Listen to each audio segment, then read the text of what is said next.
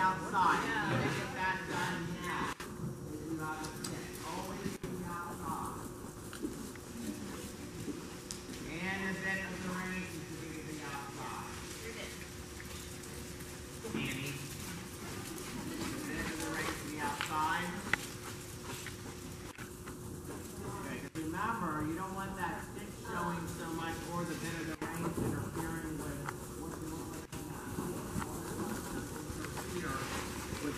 All right, let's go ahead with a big half turn, change your direction.